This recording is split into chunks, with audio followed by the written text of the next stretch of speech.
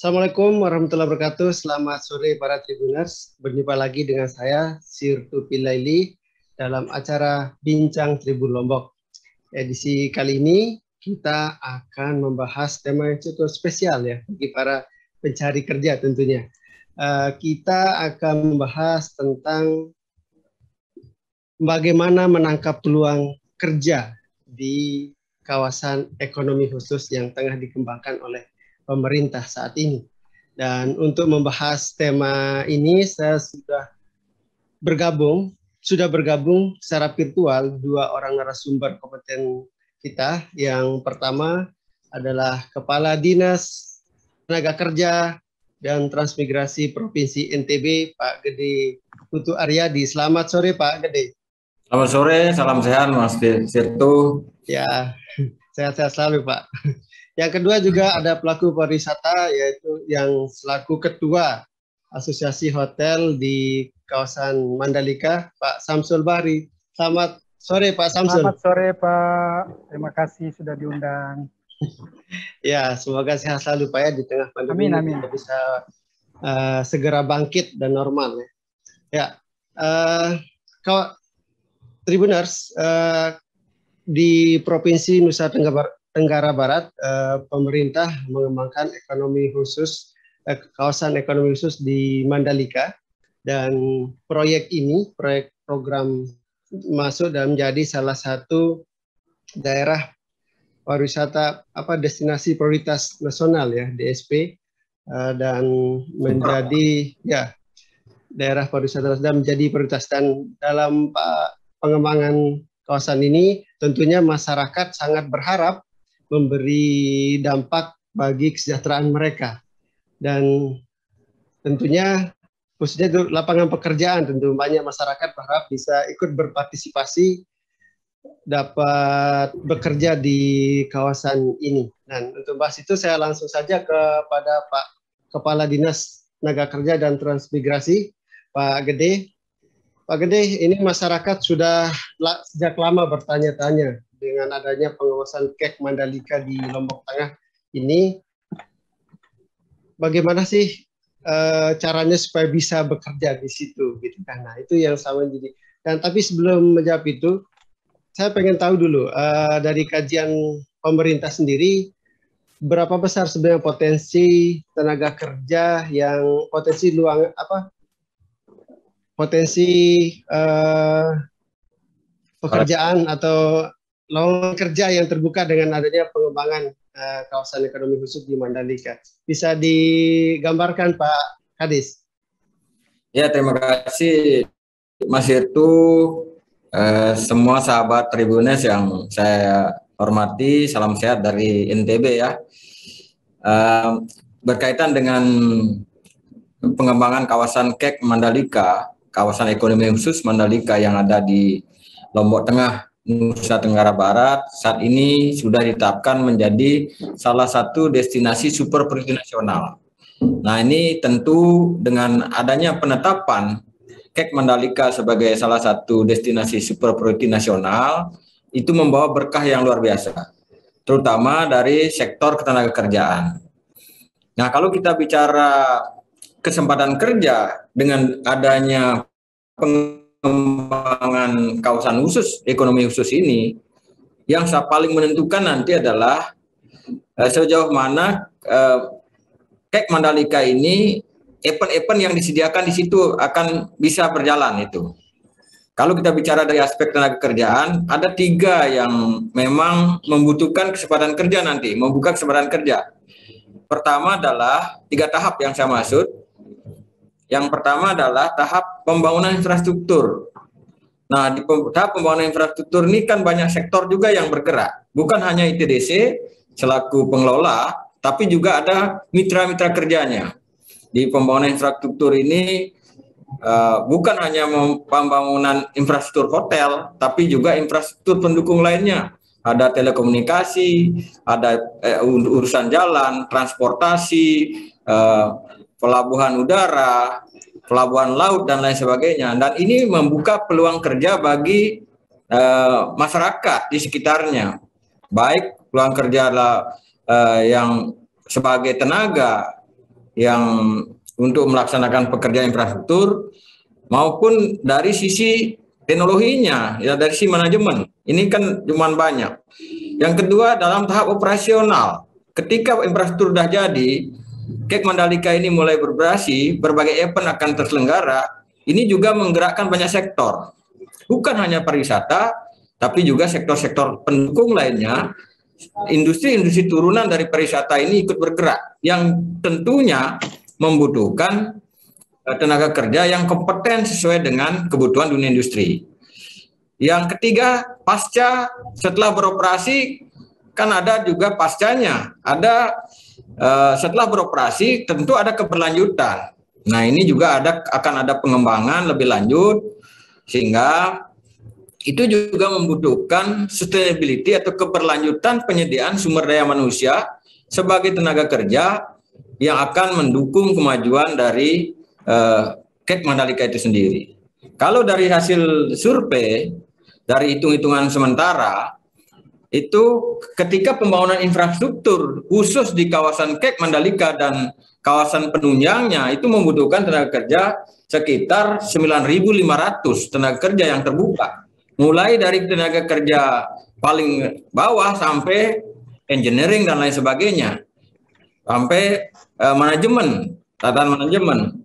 Nah ketika beroperasi itu di perhotelan aja sekitar khusus kawasan Kek Mandalika aja sekitar 8.500 eh, itu akan tersedia lapangan kerja kalau seluruh properti perhotelan itu sudah terbangun Sesuai dengan rencana investasi yang ada di Kek Mandalika, kalau kita baca rencana pengembangan Kek Mandalika, di kawasan itu akan dibangun 8 uh, eh, hotel berbintang 5. Hmm. Dalam itu dibangun. Saat ini baru terbangun satu.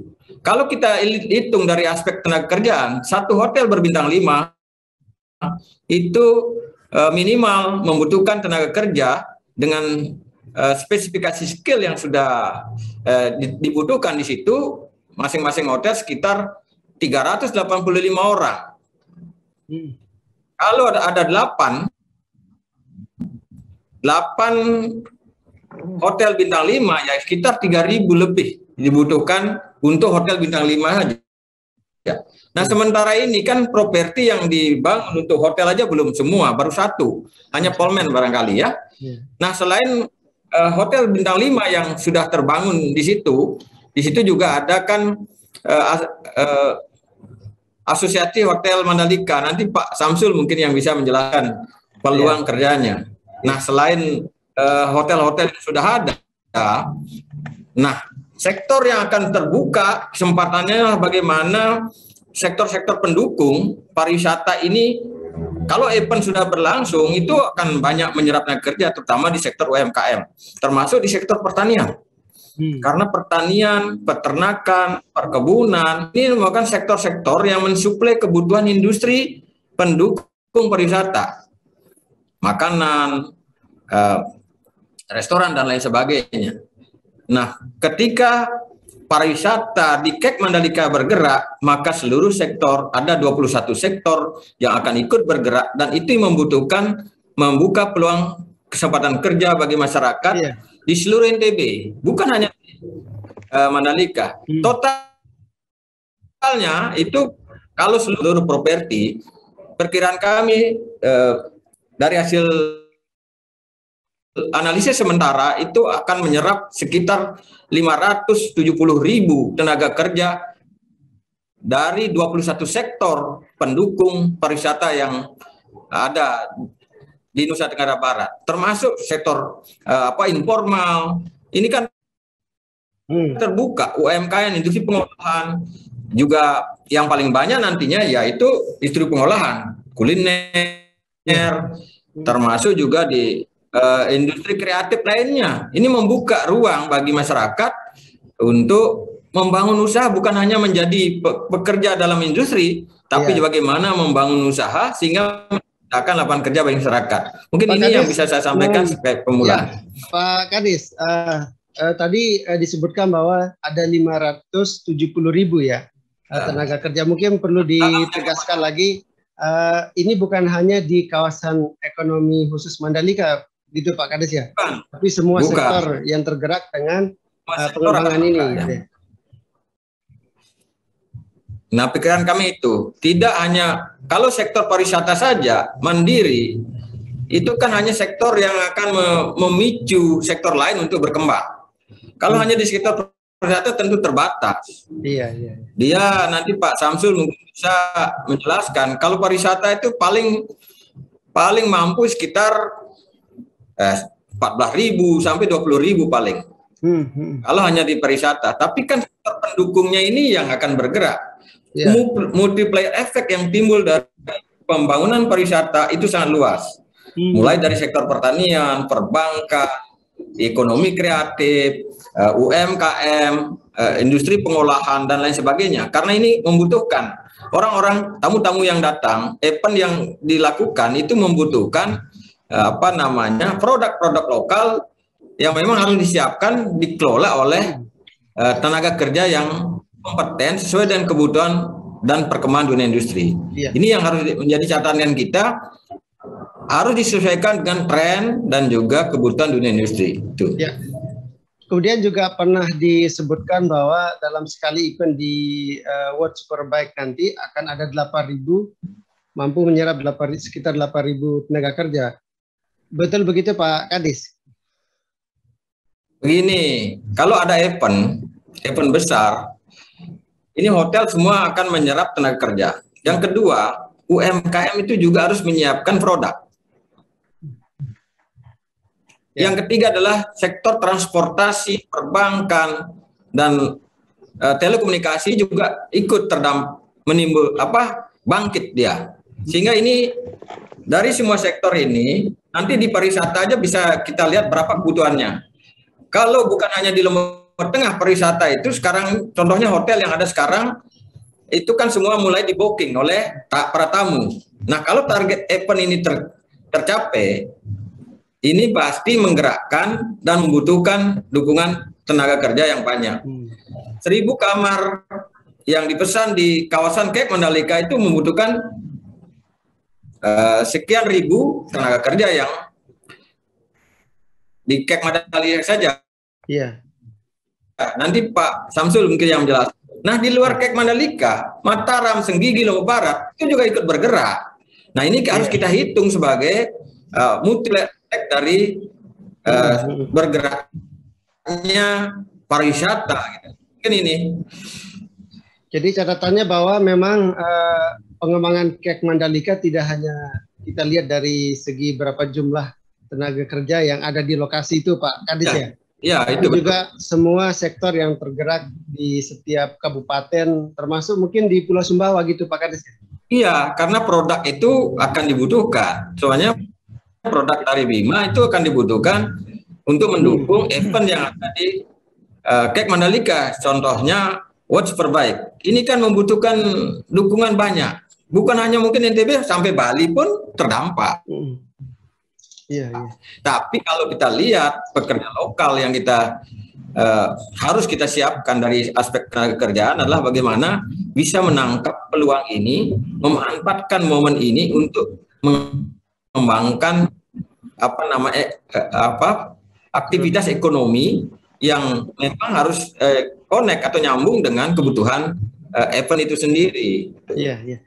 Berarti Pak Kades bahwa memang tidak hanya mengandalkan dari uh, industri atau perhotelan dan pertanian yang tercipta ya, tapi juga masyarakat tadi kalau nggak salah yang disampaikan Pak Kades juga masyarakat bisa membuka eh, apa lapangan pekerjaan sendiri artinya usaha sendiri ya. Itu juga ya. seperti apa itu Pak Kades? Contohnya kan begini, ketika ada event, produk-produk yang dibutuhkan untuk mensuplai kebutuhan event seperti uh, kuliner, seperti uh, restoran, makanan, termasuk uh, apa cenderamata dan lain sebagainya. Ini kan membutuhkan apa namanya bisa membuka ruang usaha bagi masyarakat. Contohnya kopi lah minuman barista. Sekarang ini mulai kita kembangkan bagaimana dia uh, masyarakat kita mengembangkan usaha yang menjadi pensuplai kebutuhan nanti di eh, baik di perhotelan baik di untuk uh, dijual di stand-stand yang ada di hmm. kawasan uh, Mandalika maupun yeah. tamu-tamu uh, kedatangan dan lain sebagainya termasuk sektor transportasi juga penginapan hmm. juga ada lagi untuk uh, uh, guide ini banyak hal yang bisa dilakukan. Yeah, tapi kita harus kreatif dan juga Eh, meningkatkan kualitas produk kita. Sehingga kita bisa menjadi yang terdepan. Jangan sampai nanti dari luar daerah lebih banyak. Nah iya. inilah yang kita dorong dalam uh, tahun sebelum pelaksanaan ini kita sudah mulai. Kita dampingi uh, UMKM kita untuk meningkatkan memiliki skill dalam mengembangkan usahanya gitu. Baik, itu ada sedikit tadi yang disampaikan Pak Kadis jangan sampai pulang-pulang ini tidak mampu dimanfaatkan oleh tenaga kerja uh, khususnya uh, lokal di NTB ya. Dan saya beralih ke Pak Samsul. Terima kasih Pak Kadis. Uh, ini kan ada saya pengen tahu sih bagaimana kesiapan SDM kita mungkin dari pengalaman Bapak selama ini mengelola hotel, kemudian uh, bagaimana memberdayakan pekerja-pekerja yang uh, yang ada di hotel apa permasalahan tantangan yang kondisi SDM kita seperti apa sebenarnya dari pengalaman Bapak selaku pengelola hotel selama ini Pak Samsul? Baik, siap. Terima kasih.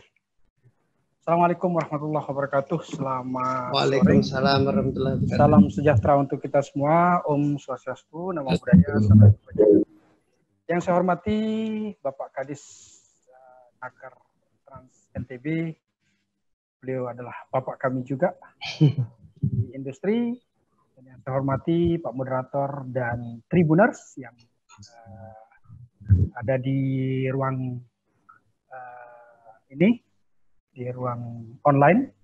Ya, semoga apa yang kita bahas hari ini bisa apa namanya memberikan pencerahan, memberikan satu insight untuk ke depan kita lebih maju dan bisa mempersiapkan diri. Baik, yang pertama-tama saya ucapkan terima kasih sudah mengundang kami dari MHA untuk uh, sebagai narasumber uh, hari ini dalam uh, yang bisa menangkap peluang kerja di kawasan ekonomi khusus.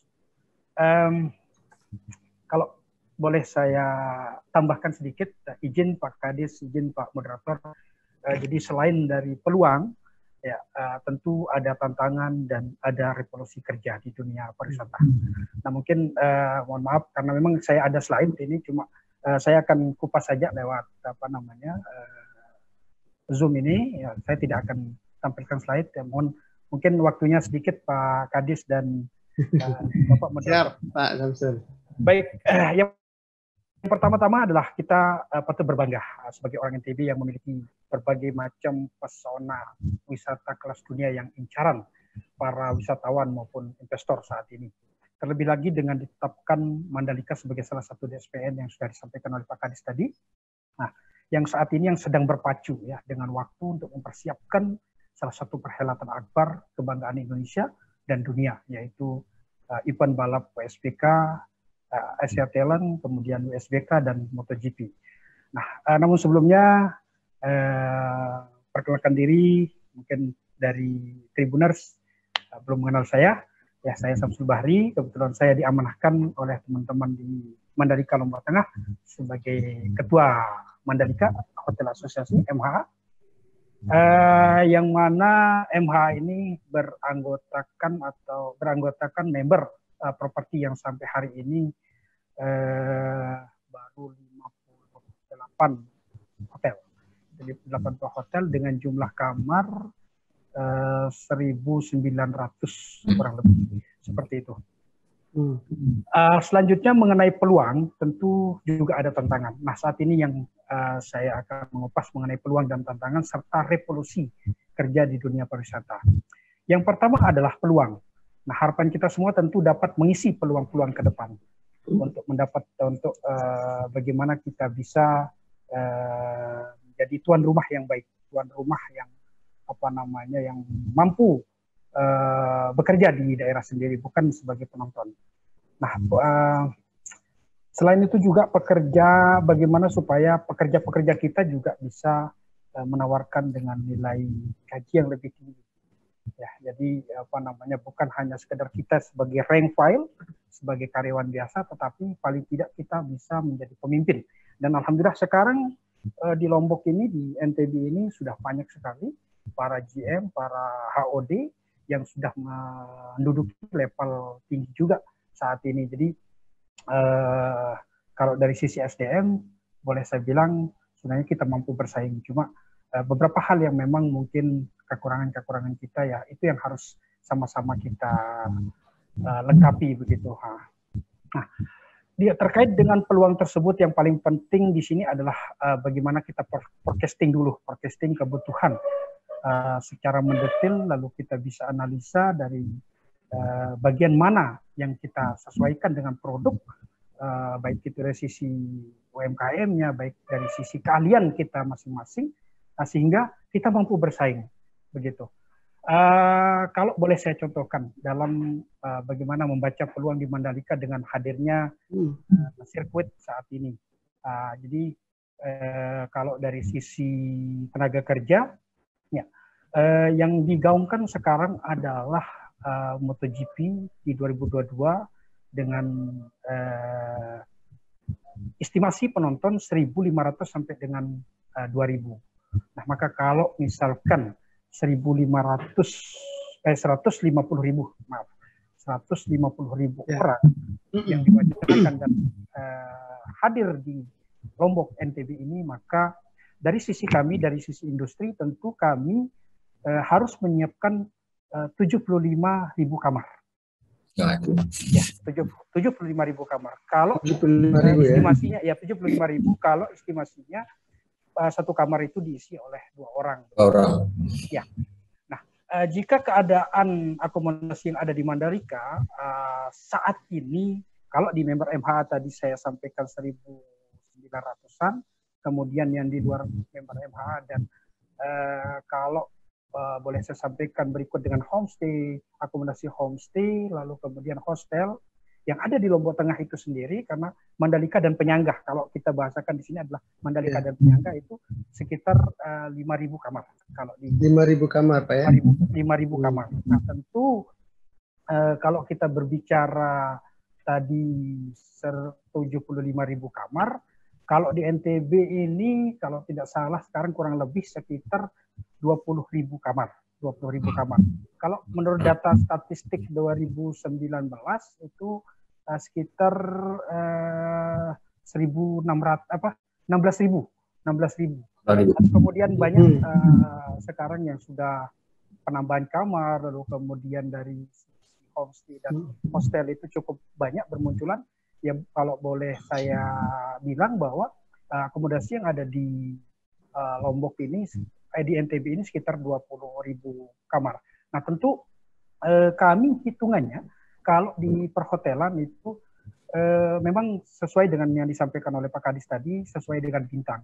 Tetapi kita berbicara secara umum bahwa kalau eh, 20 apa eh, 20 ribu kamar, maka tentu kita eh, harus menyiapkan 20 ribu orang juga begitu. Yeah. Kalau idealnya seperti itu.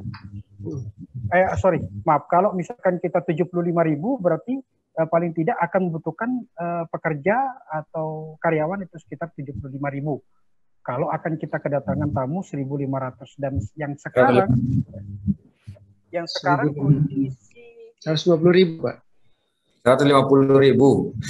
Ya, 150 ribu orang. Rencana ya. target dari MotoGP. Kalau ya. yang sekarang WSBK ini adalah 25 ribu. 25 ribu. Berarti, ya 25 ribu berarti setengahnya Pak Kadis.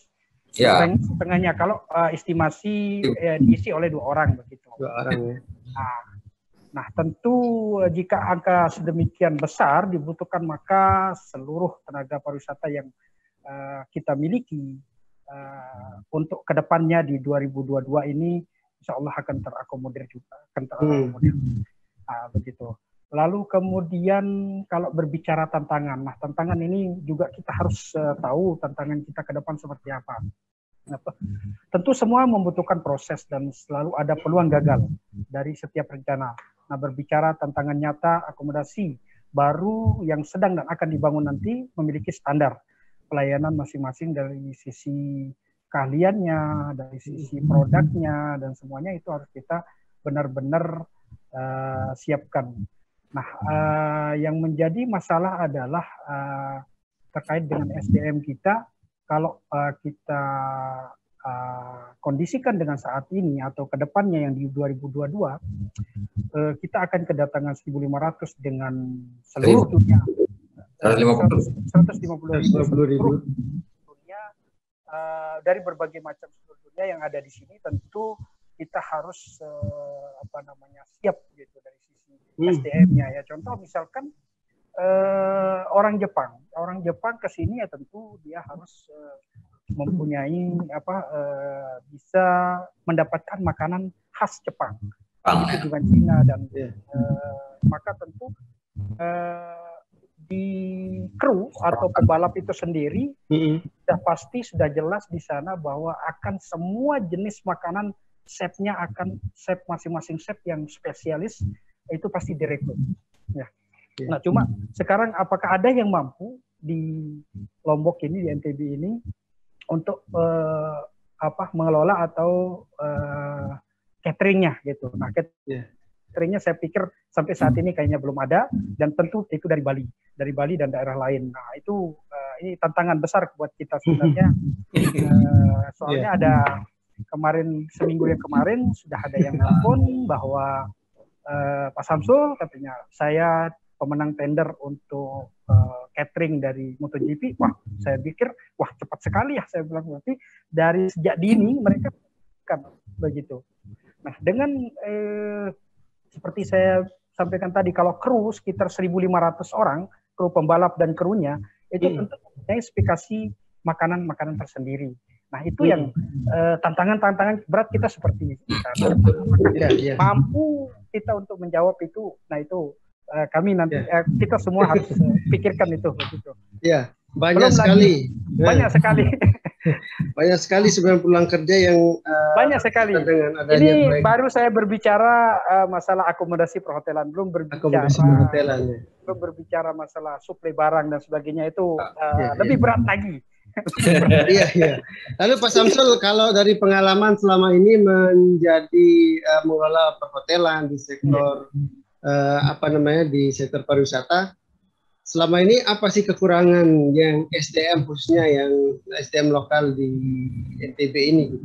Apakah Pak Samsul melihat bahwa SDM kita sudah cukup mumpuni? Uh, tadi sudah disebutkan juga sudah sampai level manajerial atau masih batas yang uh, di kerja lapangan gitu atau apa istilahnya Pak Samsul? Ya.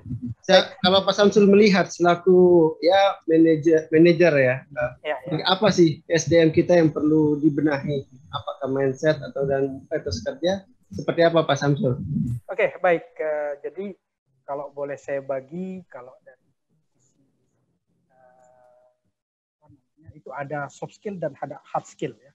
Nah, tentu kalau berbicara soft skill memang ini adalah uh, dasar fundamental kita. Nah ini ini yang agak berat kita bagaimana merubah mindset, bagaimana merubah attitude, bagaimana merubah kebiasaan, uh, penampilan dan sebagainya itu uh, itu yang masih benar-benar uh, harus di persiapkan gitu dari LPK kemudian dari SMK khususnya SMK mohon maaf uh, masih benar-benar kita harus uh, siapkan. Tapi sekarang mudah-mudahan dengan ada beberapa program yang saya lihat di uh, beberapa SMK yang sudah akan apa namanya uh, menjalankan namanya program SMK PK, SMK keunggulan, mudah-mudahan nanti ke depannya uh, benar-benar SDM kita lebih bagus lagi. Jadi uh, selain itu juga pekerja sangat membutuhkan sertifikasi yang kita harapkan dari pemerintah. Nah, hadir untuk membantu subsidi biaya ya karena jujur kalau uh, apa namanya biayanya untuk sertifikasi yang level 3 ya, yang level 3 yang dari sisi industri. Jadi memang agak berat di sana harga-harga apa biayanya juga agak tinggi. Nah ini yang eh, cukup uh, masih lemah sekali Pak Kadis yang seperti pernah apa namanya bincang-bincang kemarin bagaimana kita harus membuat LSP sendiri lalu kemudian dengan kita bisa menekan budget itu Pak Kadis. Ya. Mudah-mudahan ke depan Pak Kadis bisa memfasilitasi ya, ya. Apa namanya untuk sertifikasi karena uh, kalau dari sisi apa namanya kalau kita lihat dari uh, tadi yang saya sampaikan bahwa banyak orang-orang internasional maka kita dituntut untuk uh, benar-benar memiliki sertifikasi profesi uh, sertifikat uh, kompeten begitu kompetensi. Nah, uh, sepertinya mudah-mudahan Pak Kadis juga ke depan untuk lebih bagaimana adik-adik kita ke depan lebih mempersiapkan uh, mempunyai kita aturan. Aturan dalam arti ada standarisasi di mana hotel bintang 3, bintang 4, bintang 5 persyaratan untuk masuk kerja harus mempunyai sertifikat uh, kompetensi. Artinya hmm. uh, benar-benar mereka uh, ahli di bidang uh, apa namanya bidangnya. Yeah, yeah.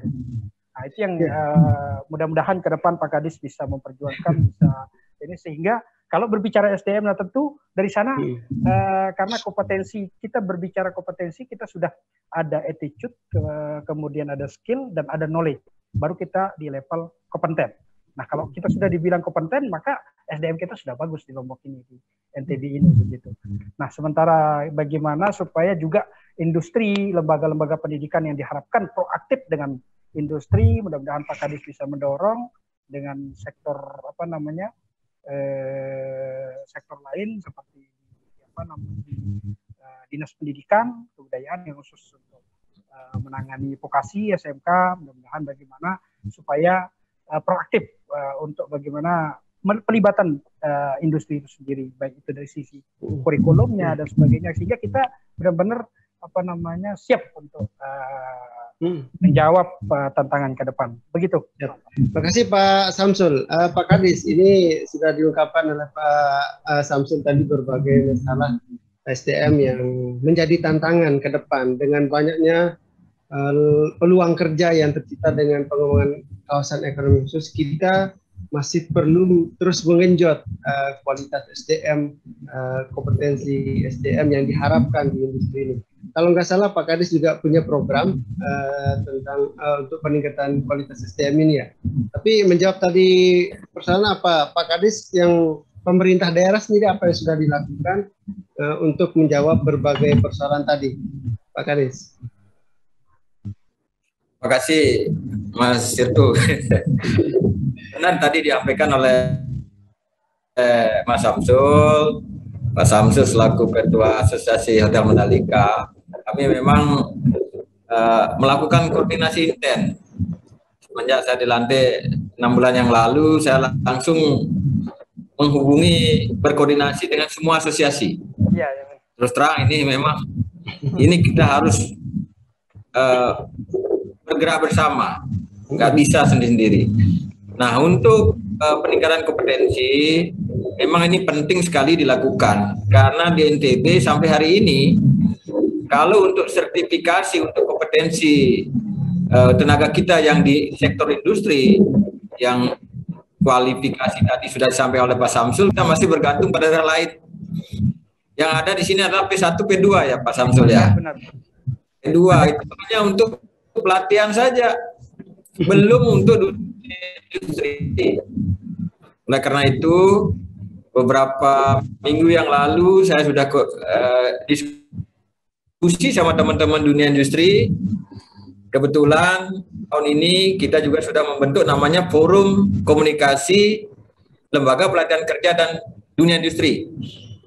Nah, ini forum ini fungsinya adalah kita apa namanya bersama-sama bergerak dunia industri menyampaikan informasi kebutuhan tenaga seperti apa spesifikasinya. Nah, nanti dari situ dari informasi kebutuhan dunia industri ini sehingga lembaga pelatihan dan lembaga pendidikan vokasi itu bisa menyesuaikan kurikulumnya agar sesuai dengan kebutuhan dunia industri. Nah, untuk lembaga sertifikasi P3 yang diharapkan itu memang eh, kalau kita lihat di prosedur pembentukannya itu kan diajukan oleh Asosiasi Dunia Industri. Nah, kemarin saya juga mohon kepada Pak Samsul selaku ketua asosiasi itu akan segera mengajukan proposal. Siap, nanti kita sampaikan ini didukung penuh nanti oleh Pak Gubernur. Kita sampaikan pada pimpinan Pak Gubernur Bu Agung ini sangat care tentang ini. Malah meminta ini segera karena kita tahu untuk asesor untuk uh, apa lembaga sertifikasi ini kita sudah memenuhi kok. Kita punya banyak tenaga-tenaga profesional di bidang ini. Ini anggotanya Pak Samsul semua ini. Tidak tahu. Nah, inilah yang kita lakukan. Ya. Sertifikasi ini nah, gimana ini, Pak? Tapi, Permintaan dari Pak Samsul tadi. Ya, itu kan dia, dia harus diajukan proposal oleh asosiasi. Hmm. Nanti ini dikelola oleh orang-orang yang profesional bukan dikelola oleh pemerintah. Pemerintah hadir hanya memfasilitasi. Ya. Jangan sampai kayak sekarang kita mendatangkan lembaga sertifikasi itu dari Surabaya. Itu biayanya mahal memang. Nah, kalau bisa diadakan di sini dan kita punya SDM yang mumpuni untuk melakukan sertifikasi, meningkatkan kompetensi sumber daya tenaga kerja kita, itu kenapa kita tidak hadirkan di sini. Tapi persyaratannya itu memang diajukan oleh Asosiasi Dunia Industri. Nah, Asosiasi Dunia Industri. Nah, nantilah kami akan kita dukung. Tapi ini butuh proses. Butuh proses, Pak. Dengan demikian, nanti di forum komunikasi pelatihan dan dunia industri ini kami ingin juga konsolidasikan lagi. Nanti keanggotaannya itu saya sudah usulkan kepada ketua forum yang sekarang dijabat oleh Pak uh, Johan, uh, direct apa mani, manajer uh, hot, apa Senggigi Hotel ya, Gila Hotel, Gila Hotel. Itu nanti keanggotaannya kita kembangkan termasuk nanti SMK ini kita libatkan. Sekolah SMK kita libatkan sehingga lulusan SMK ini akan men lain dengan kebutuhan dunia industri. Jangan seperti sekarang jurusan SMK begitu tamat belum siap masuk dunia industri karena memang apa skill atau kompetensi yang dibutuhkan dunia industri belum apa namanya belum connect dengan uh, lembaga pendidikan dan lembaga pelatihan. Ya. Karena itu yang harus kita dorong ke depan ini di Snaker memfasilitasi bagaimana kita membuat suatu informasi tentang kesempatan kerja di dunia industri secara konkret. Apa yang dibutuhkan oleh dunia industri terutama di sektor pariwisata ini hingga nanti dari informasi peluang kerja yang kita susun dalam jangka menengah maupun jangka panjang trennya seperti apa SMK dan lembaga pendidikan vokasi itu bisa menyesuaikan kurikulumnya sehingga lulusannya nanti bisa terserap sesuai dengan kebutuhan dunia. Itu yang yang sedang kami lakukan bersama dengan dunia industri dan juga lembaga pelatihan kerja yang ada. TB ini sekarang ada 200 lembaga pelatihan kerja swasta. Dan ini juga harus dilibatkan harus diberdayakan, mereka harus dibina dan ini harus dihubungkan dengan industri ke depan. Mulai saat ini tidak boleh pelatihan kerja dilakukan tanpa kerjasama dengan dunia industri. Sehingga ke depan pelatihan akan kami rekomendasikan lembaga pelatihan kalau dia punya program kerjasama dengan dunia industri sehingga kita tahu kebutuhan dunia industri. Kalau dia tidak punya kerjasama dengan dunia industri, minimal dia punya nanti uh, program lanjutan atau kerjasama dengan institusi terkait yang akan menyiapkan para lulusan pelatihan kerja itu memasuki apa dunia usaha atau dia mengembangkan wirausaha baru secara mandiri. Sehingga ini ada dua program kami mengembangkan namanya inovasi uh, program pelatihan dan pemberdayaan tenaga kerja terpadu plus yeah. lembaga pelatihan dan dunia industri sama-sama merencanakan program pelatihan dan pendidikan yang dibutuhkan kalau dia tidak ter, nanti yang tidak terserap di dunia industri maka dia didampingi lagi program pelatihan wirausaha manajemen wirausaha dan diberikan dukungan teknologi berupa peralatan dan dia uh, uh, hubungkan dengan dunia permodalan dan juga pemasaran. Ini yang kita lakukan dan ini membutuhkan komitmen dan kerja bersama. Tidak boleh kita lagi bekerja secara parsial-parsial. Yeah. Inilah integrasi ini penting. Mungkin ini yang bisa saya sampaikan kaitan dengan apa yang kita lakukan selama ini. Kalau selama ini kita masih berjalan sendiri-sendiri, sehingga setiap tahun lulusan lembaga pelatihan itu menambah jumlah pengangguran. Nah, ke depan tidak boleh lagi pelatihan dilakukan hanya untuk mencapai target jumlah, tapi tidak terserap dalam dunia industri. Malah kalau saya pelajari, khusus untuk sektor pariwisata, ini dia beda. Dia harus po, apa namanya, ada proses pengenalan di dunia industri sektor pariwisata ini. Dia butuh pelatihan kalau yang selama ini dirasakan hanya satu bulan di lembaga pelatihan itu tidak memenuhi syarat. Belum bisa masuk ke dunia yeah, kerja. Yeah. Itu. Saya kira begitu. Ya Pak Kadis, uh, kalau boleh tahu ini kan dengan sekian banyak uh, lapangan pekerjaan terbuka ini, kesiapan hmm. SDM kita secara umum tadi itu uh, belum digambarkan seperti apa sebenarnya? Apakah bisa sudah sangat siap, siap atau belum siap itu Pak? Dengan ini kan ser, kalau 100 Pak menyebut 150 ribu, 157 ribu ya. Nah, kemaksud juga hmm. dengan kenapa sih SMK ini kemudian lembaga latihan kerja ini tidak uh, nyambung dengan kebutuhan industri. Apa apa permasalahannya selama ini Pak Kadis? Begini, kalau ke, kaitan dengan eh, SDM yang sudah kita latih, itu jumlah eh, sekarang ini di tahun 2000 2021 itu ada 15.000 yang kita uh, luluskan dari lembaga pelatihan kerja swasta maupun lembaga balai latihan kerja yang milik pemerintah daerah. Itu di bawah binaan memang uh, balai latihan kerja internasional yang ada di Lombok Timur. Yeah. Nah, pola yang kita bangun sejak uh, tahun kemarin itu sudah melakukan link and match berkoordinasi dengan dunia industri. Sehingga pola pelatihan yang kita siapkan adalah selain pelatihan di Balai Latihan Kerja atau lembaga lembaga pelatihan kerja swasta yang ada, hmm. juga mengkombinasikan pola pemagangan dengan di dunia industri. Prosesnya dalam pola, pelatihan pola magang ini yang merekrut adalah yang menentukan spesifikasi adalah dunia industri. Para direktur hotel kan, nanti dunia industri juga yang menentu lembaga pelatihan yang cocok sesuai dengan spesifikasi skill yang dibutuhkan oleh dunia industri. Contohnya di Hotel Mandalika, dia akan menunjuk lembaga pelatihan dan biayanya dari pemerintah, yaitu yang kita lakukan kemarin.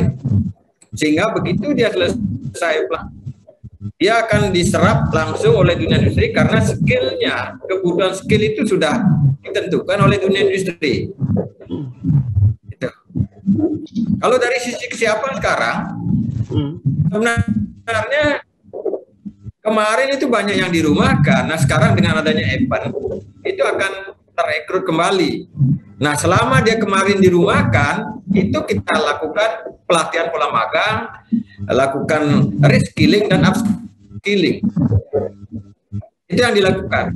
Ya, ya. Kalau menurut kesiapan, kita siap kok. Dari sisi SDM yang ada sekarang siap, tapi memang ini harus kita persiapkan lebih maksimal lagi sehingga para lulusan SMA, SMK, lulusan lembaga pelatihan kerja itu betul-betul kompetensinya itu sesuai dengan kebutuhan dunia industri. Termasuk kita hadirkan lembaga sertifikasi tadi iya. yang memenuhi syarat uh, untuk dunia industri karena persyaratan di malah di industri internasional ya Pak Samsul ya hmm. ini menyasarkan itu hmm. mensyaratkan adanya sertifikat kompetensi padahal kita di sini banyak punya contohnya uh, set ini orang-orang profesional yang memang kelas internasional tinggal yeah. kita sekarang bagaimana memberdayakan mereka berikan peran untuk mengambil peran ini membina anak-anak kita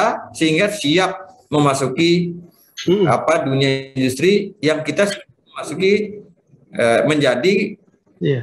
Eh, apa ya? Dunia internasional yang menyoroti kita sekarang. Iya, iya. Di Amerika ini kan Iya. kelas internasional sehingga ini penting gitu. Iya. Tadi disebut kelas internasional Pak Kadis. Ini kenapa sih sebenarnya uh, di mana kendalanya? Kenapa tidak diberdayakan selama ini uh, pelatih-pelatih tenaga kerja itu untuk kenapa tidak kemudian diberdayakan selama di mana tidak titik kenapa tidak ketemu uh, antara industri dengan kebutuhan untuk peningkatan standar tenaga kerja tadi itu? Apakah pemerintah tidak ada komunikasi selama ini dengan uh, dunia industri dan kebutuhan atau kebutuhan dunia industri, Pak? Bukan seperti itu. Ka- Kalau begini kan lembaga pelatihan program pendidikan vokasi itu yang ada di Kementerian Pendidikan dan Kebudayaan di pusat itu baru, Hmm. direktoratnya juga baru. Kalau dulu anak-anak SMK ini dilatih di kurikulum eh, pendidikannya itu mungkin kurang juga prakteknya, sehingga sekarang Hmm. dengan adanya evaluasi oleh secara nasional itu sudah di, ada direk, direktorat yang menangani tentang pendidikan vokasi. Berikan kesempatan untuk mengembangkan sesuai dengan kebutuhan kompetensi yang ada di industri. Hmm. Kalau dulu kan eh, lembaga pendidikan vokasi ini cenderung dia untuk melanjutkan lagi. Iya, iya.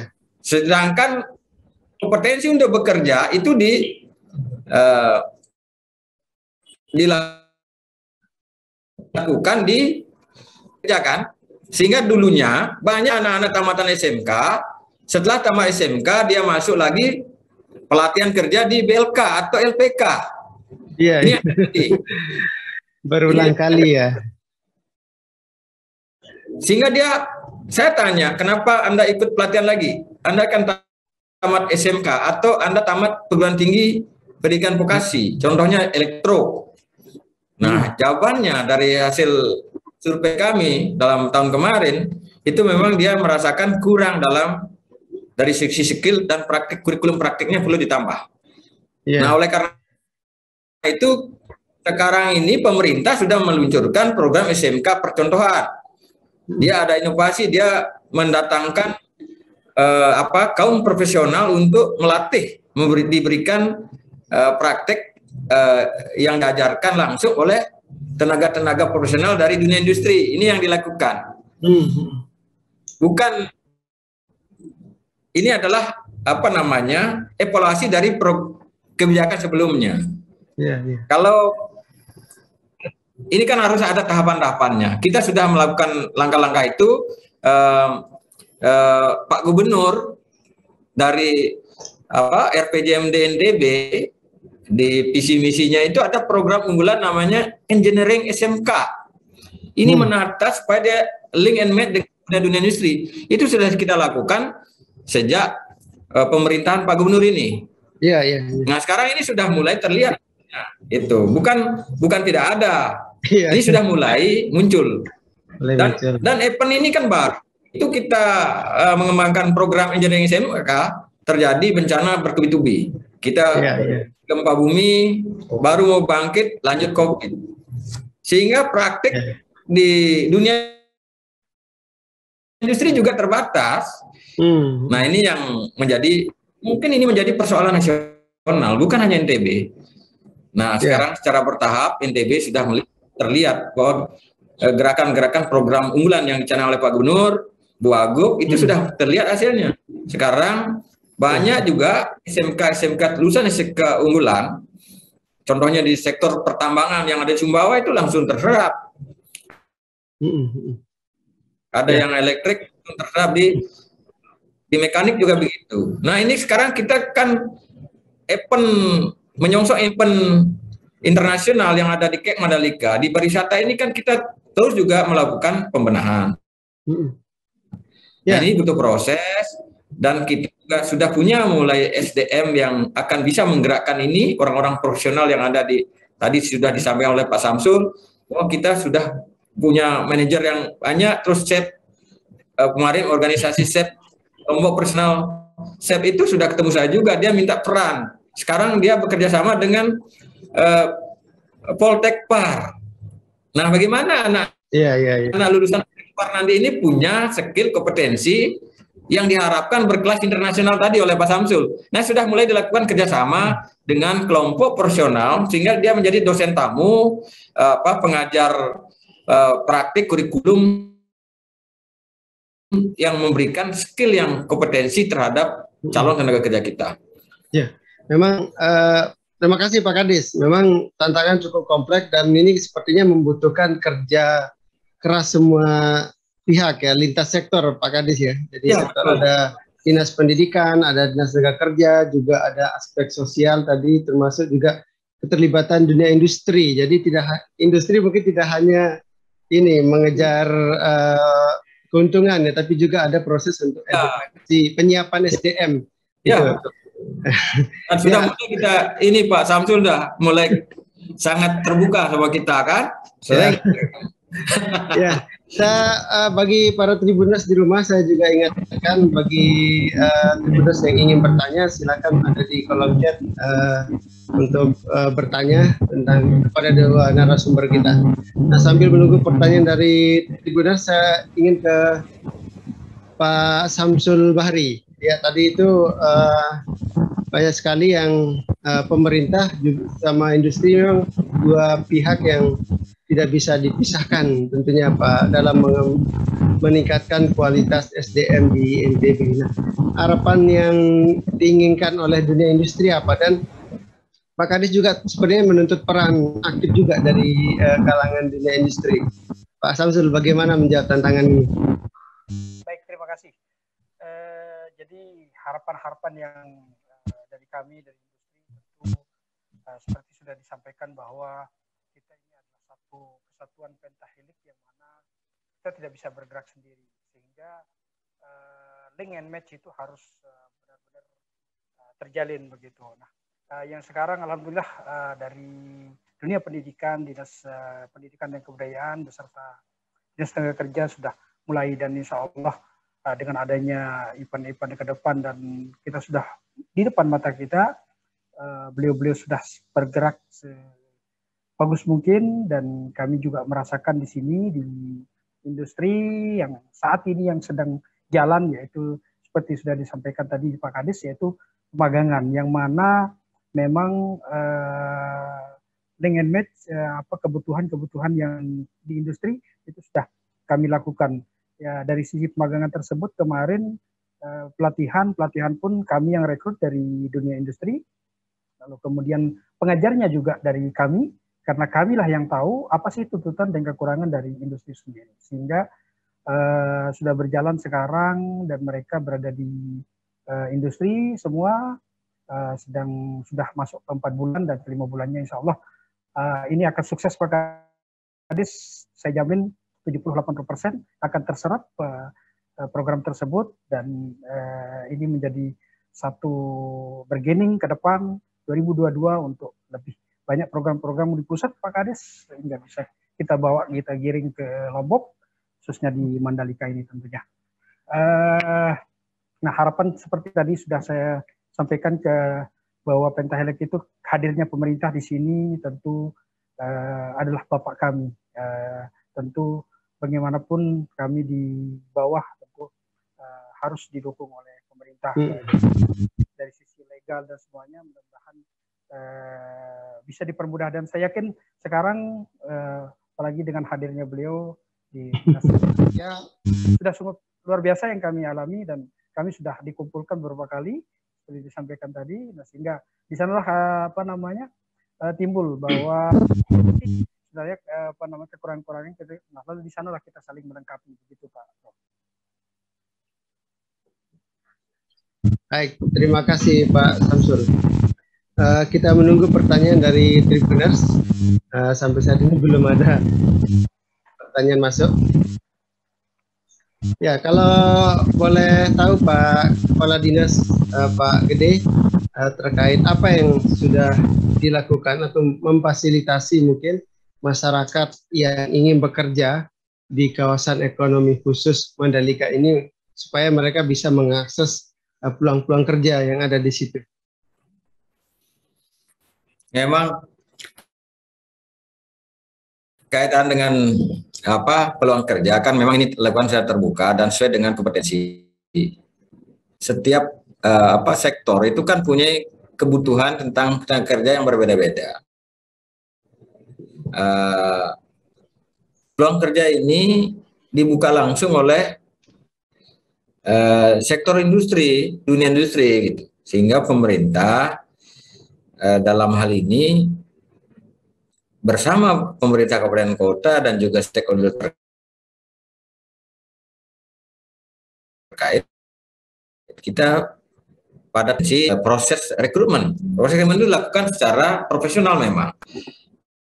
Nah, hanya saja eh, masing-masing pemerintah kabupaten kota dan juga pemerintah provinsi menganjurkan sedapat mungkin pekerja-pekerja atau tenaga kerja yang ada di area atau sekitar pedagang lokal itu terserap. Tentu ini sesuai dengan kebutuhan, sesuai dengan kompetensi yang dibutuhkan. Contohnya di kesehatan lah kira-kira begitu. Iya, iya. Di kesehatan akan dibuka. Kan sudah dibuka beberapa kali. Tentu yang bisa melamar di situ adalah masyarakat sekitar yang kompetensi atau latar belakang pendidikannya sesuai dengan kebutuhan yang ada di situ. Inilah pentingnya tadi saya bilang bahwa pemerintah daerah, pemerintah provinsi, dunia industri yang ada di lingkungan itu hadir bersama memberikan edukasi dan juga menyiapkan SDM, termasuk pemerintah desa, pemerintah kecamatan. Ini hal yang bagus. Di Lombok Timur itu Pak Gubernur, Pak Bupati itu membuat program terobosan menyiapkan tenaga kerja anak-anak muda di desa itu mm -hmm.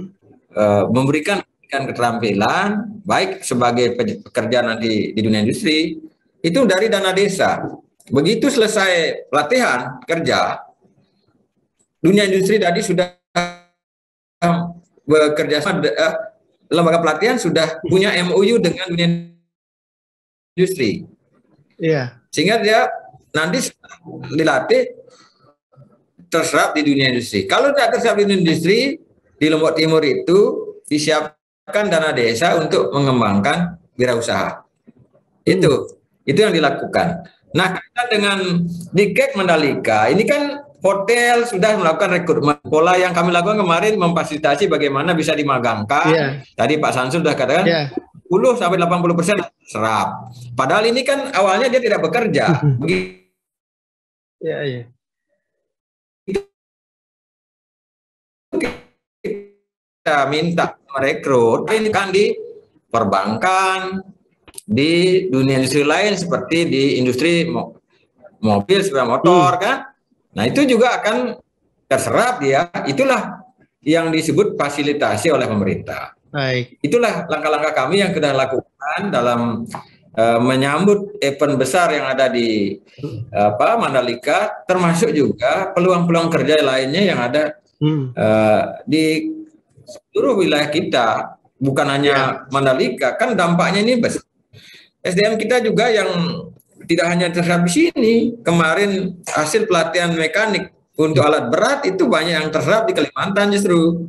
Oh, gitu. Itu dilakukan oleh di Lombok Barat, difasilitasi dengan menggunakan tapi akhirnya dia dibutuhkan di industri lain. Ya. Ini ini kesempatan hmm, yang kita hmm. lakukan. Nah, ya. Mungkin ini. Baik, Pak Kadis. Uh, terima kasih. Uh, ada pertanyaan dari Dennis Channel ya. Hmm. Apa fasilitas atau kemudahan apa yang disediakan pemerintah daerah untuk pencari kerja?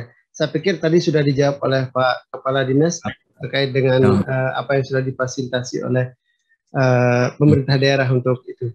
Uh, Pak Samsul, Pak Gede, Pak Kades, uh, terima kasih. Mungkin kita sudah masuk di sudah ya, terasa sudah satu jam kita ngobrol-ngobrol soal uh, peluang kerja yang ada di kawasan ekonomi khusus. Tadi kita sudah dapat gambaran cukup banyak sekali tentang peluang-peluang uh, kerja yang akan terbuka di dengan pengembangan ekonomi khusus ini. Dan ada 570 ribu tenaga peluang kerja yang uh, terbuka lebar di sini dan ini tentunya membutuhkan uh, kejelian dan kepekaan kita sebagai uh, pekerja atau masyarakat lokal untuk memanfaatkan peluang ini. Tidak hanya menjadi pekerja tapi juga menjadi pelaku usaha di situ.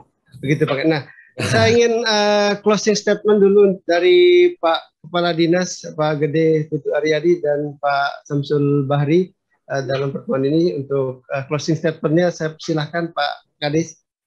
Pertama saya nyampaikan terima kasih kepada uh, Tribun News yang sudah uh, mengundang kami dalam diskusi ini. Yang kedua kami mengajak seluruh stakeholder terutama dunia industri, lembaga pelatihan, dan masyarakat terutama itu juga menyiapkan diri menyambut event ini. Tidak bisa hanya mengharapkan, oh ini apa yang disediakan oleh pemerintah. Maka kita kreatif melihat peluang ini, manfaatkan semua eh, momentum dan kesempatan. Jangan kita uh, pesimis, tapi optimislah kita ke depan. Dengan demikian akan terbuka peluang komitmen yang tinggi untuk meraih cita-cita bagi kemajuan NTB Gemilang. Mungkin ini yang bisa saya. Terima kasih. Terima kasih Pak Kades. Pak Samsul, closing statementnya Pak untuk pertemuan kita yang singkat hari ini. Eh, yang pertama terima kasih juga ke Tribun sudah memfasilitasi ini. Semoga eh, apa yang kita suaranya kurang kencang Pak Samsul. Halo. Iya. Ya. Semoga apa yang kita laksanakan hari ini membuka mindset kita, membuka pikiran kita untuk bagaimana kita siap dan mampu uh, mengisi peluang-peluang kerja ke depan sehingga uh, dari sekarang tentu yang perlu kita siapkan adalah sebagai SDM atau sebagai pencari kerja uh, yeah. persiapkan diri persiapkan mental kita. Ya kita jangan cengeng. Ya yeah. karena depannya kita cukup tantangan kita cukup berat. Karena uh, industri ini adalah bukan maunya kita tetapi yeah. tuntutan.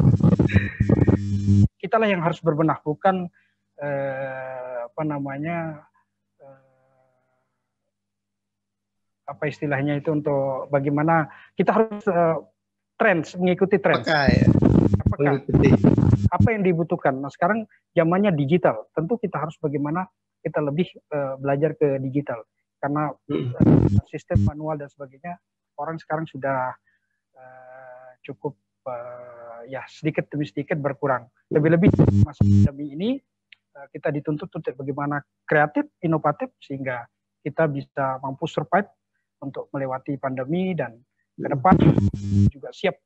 Nah, uh, yang perlu juga harus kita siapkan seperti tadi saya sampaikan bahwa kita harus persiapkan soft skill dan hard skill kita sehingga yes. kita uh, apa uh, menyandang gelar kompeten.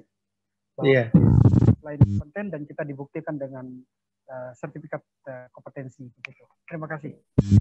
Terima kasih Pak Samsul Bari. Uh, Pak Gubernur banyak sekali yang sudah kita bahas tadi. Kita tidak bisa menyimpulkan satu persatu, tetapi uh, panjang dalam pertemuan ini kita dapat gambaran bahwa uh, sekian banyak peluang kerja dan di sini membutuhkan kerjasama lintas sektor dan semoga dalam per, tadi pertemuan ini uh, pemerintah daerah dan dunia industri uh, memperkuat kerjasamanya untuk uh, peningkatan SDM dan NTB uh, sudah harus uh, kita go internasional Pak Kadis ya uh, Pak Samsul kita harus uh, punya mindset dan kita harus meningkatkan taraf uh, kemampuan di uh, saat ini.